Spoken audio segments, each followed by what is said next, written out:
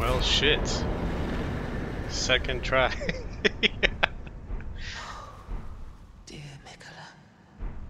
Oh, dearest Miquella. My Damn, dude, what the fuck? I'm sorry. I finally met my